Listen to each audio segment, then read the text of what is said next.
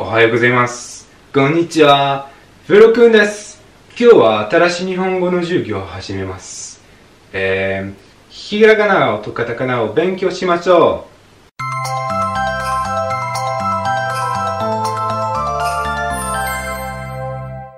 Salut, c'est Florent, alias Florokun. Aujourd'hui, on va étudier plus en détail les kana, à savoir les hiragana et les katakana.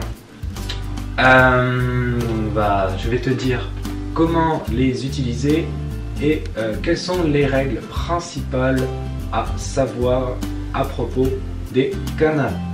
Donc on va commencer tout de suite par afficher les tableaux des hiragana et des katakana.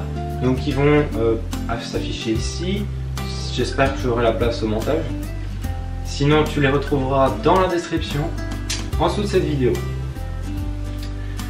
Donc, si tu es déjà euh, sur les tableaux, tu peux déjà remarquer que euh, à chaque ligne est affectée une voyelle et qu'à chaque colonne est affectée euh, une consonne. Et que la rencontre des deux aboutit à la formation de syllabes. Alors, j'aime pas trop le terme de syllabes, mais c'est plus simple pour que tu comprennes. Euh, en japonais, on parle plus de mort. Je t'invite à faire une recherche sur internet, tu en sauras plus. Cependant, il y a quelques exceptions. Euh, quand tu croises certaines colonnes et certaines lignes, ça ne donne pas le son auquel tu t'attendrais. Par exemple, quand tu croises euh, la colonne des S et la, colonne, et la, la- ligne des I, pardon, ça donne, tu t'attendrais au son Si. Eh bien, ça donne euh, en fait le son Si. Ah, parce qu'en japonais, euh, le son Si n'existe pas. Et ça va être comme ça pour les suivants. C'est-à-dire que si tu croises par exemple la ligne des I avec la colonne des T, tu t'attendrais au son Ti. Mais en fait, ce son n'existe pas. Et euh, en japonais, ça donne Chi. Même chose pour le son tsu. Et euh, voilà. Et après, tu vas également le- la consonne ou la voyelle, je sais pas trop comment euh, la nommer. Euh, donc le son N, enfin c'est marqué N, mais ça se prononce N. Alors bien sûr, je ferai dans la prochaine vidéo un cours spécifiquement dédié à la, à la prononciation.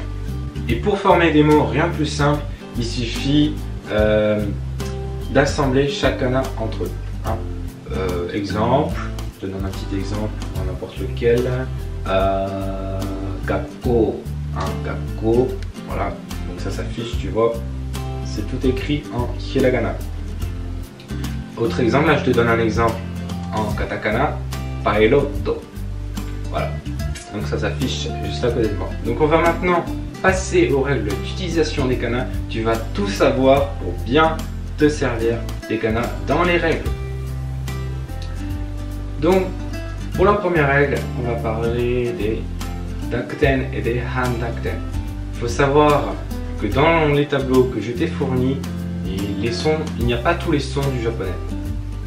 C'est pour ça que les japonais ont créé donc ce qu'on appelle des dakten et des handakten. Je te les affiche ici. Tu vas voir euh, donc des kanas, tu vas voir des kanas avec des handakten et des dakten. Voilà. Et ça, ça permet donc de former de nouveaux sons. On peut ajouter un dakten sur les consonnes K, S et H pour former les consonnes G, Z, J, D et P. Alors, je te donne quelques exemples. Jinsei, Higurashi, Tsuzuku, Tenkyo, Tettai, Demo. Voilà. Euh, on peut ajouter un handakten sur la consonne H et ça va donner la consonne P. Par exemple, dans le mot petto. Donc c'est un animal de compagnie.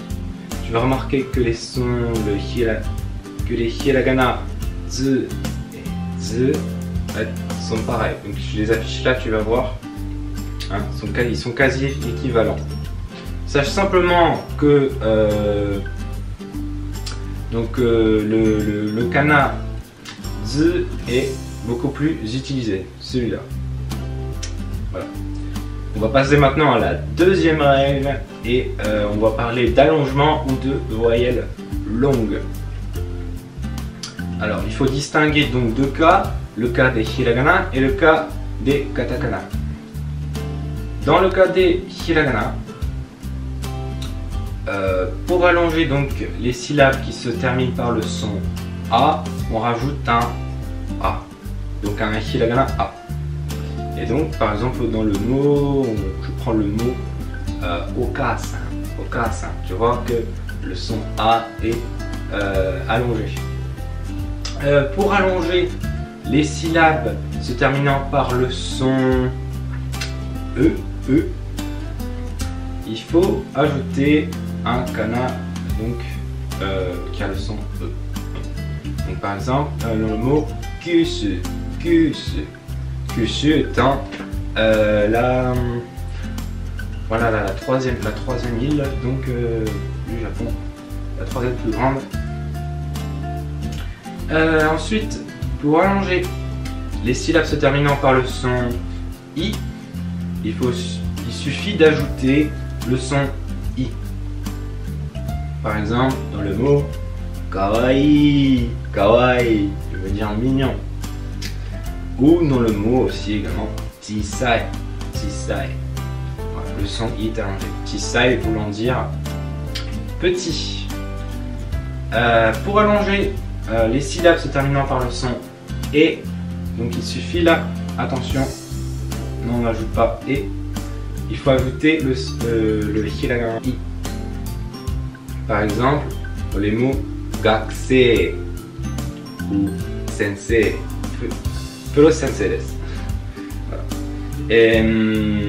Pour allonger les syllabes se terminant par le son O, là il faut ajouter euh, le hiragana E par exemple, dans le mot gakko, encore Tokyo, Kyoto. Dans de rares cas, les syllabes et et o sont allongées avec les euh, euh, et et o. Je vais te donner deux exemples. Par exemple, dans le mot onesan, donc la sœur, et euh, dans le mot Osaka, Osaka. Pour les katakana, c'est beaucoup plus simple. En fait, il suffit d'ajouter un trait comme ceci pour obtenir un allongement. Par exemple, dans le mot keiki, keiki. On passe maintenant à la troisième règle et elle concerne ce qu'on appelle des pauses, des coupures. En fait, euh, je vais te donner des exemples. Gakko, gakko, tutto, tu constates bien qu'il y a une sorte de, temps mort en fait entre deux syllabes. Et pour, euh, pour euh, transcrire ça à l'écrit, il suffit d'ajouter ce qu'on appelle, il suffit d'ajouter un petit tsu. Un, donc un hiragana tsu ou un katakana tsu. Et enfin, on va passer à la quatrième et dernière règle, celle des combinaisons, que l'on appelle aussi règle des diphtongues, parce qu'on fait des diphtongues. Voilà. Alors, comment cette règle fonctionne? Eh bien, c'est tout simple.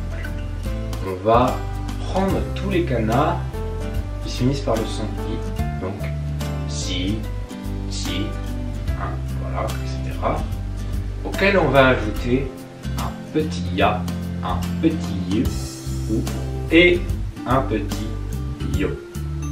Et donc on va arriver à former des mots comme tenkyo, euh, ou encore avait pas mieux, pas mieux. Mais ça c'est une chanteuse japonaise. C'est un extra. Donc ça peut t'aider je pense à retenir cette règle. Voilà. Donc maintenant tu sais tout. Euh, sur les règles d'utilisation des canages, je te laisse le temps d'assimiler tout ça avant qu'on passe à la prochaine et dernière partie, à savoir les nouveaux katakana. Donc on arrive maintenant à la troisième et dernière partie de cette vidéo que j'ai intitulée les nouveaux katakana. Qu'est-ce que j'entends par là? Eh bien pour tout comprendre, il faut remonter aux années 50, 60 au Japon, lors du grand boom économique. À cette époque, le Japon était confronté à l'arrivée massive de la culture occidentale et donc de nouveaux mots. Plein de nouveaux mots dont euh, les sons n'existaient pas encore en japonais. C'est pourquoi les japonais ont créé donc de nouveaux katakana pour transcrire les sons de ces langues étrangères dans leur langue. Pour te donner un exemple, en français, on a le café au lait. Et en japonais, on a le café au lait. Comme tu peux le voir, le son fait n'existe pas en japonais. Alors qu'est-ce qu'ont fait les japonais pour reproduire ce son dans leur langue Eh bien, ils ont utilisé le, le kana feu, auquel ils ont ajouté un petit euh, kana et. Et on arrivait donc à former café au lait. Et il y a plein d'autres mots où ils ont fait, ils ont utilisé ce principe donc pour retranscrire les sons des langues étrangères. Eh bien, à quoi est-ce qu'on arrive? La règle est la suivante. Les Japonais ont donc euh, pris des petits A, des petits E, des petits I et des petits E et des petits O qu'ils ont juxtaposés à quelques canards pour former des sons donc, qui n'existaient pas en japonais, comme dans Café Ole. Je t'affiche ici donc un tableau qui récapitule toutes les nouvelles combinaisons possibles en katakana. Tu pourras également le retrouver en description. Euh, et en attendant, tu peux remarquer qu'il y a une colonne assez spéciale, celle du katakana E, auquel on a ajouté un dactème. Pourquoi on lui a ajouté ce dactème Eh bien, c'est pour former le son E et euh, donc euh, avoir, réussir à obtenir les katakana va, li, le, ve, vo. Il faut savoir euh, que ces katakana sont peu utilisés et que les japonais préféreront prononcer ces katakana ba, bi, et bo. Voilà, cette vidéo est maintenant terminée. J'espère t'avoir été utile et avoir pu te montrer comment bien utiliser les kanas. Si tu commences le japonais et a fortiori l'apprentissage des kanas, j'ai quelque chose à te proposer gratuitement. J'ai créé spécialement une vidéo dans laquelle je te montre comment j'ai appris les kanas en une semaine et comment tu peux parvenir au même résultat. Si tu souhaites accéder à ce contenu, il suffit de cliquer dans le lien qui s'affiche ici sur ordinateur et tablette et dans la description pour smartphone. Voilà, nous on se retrouve lundi. Bye bye. Gambarimashou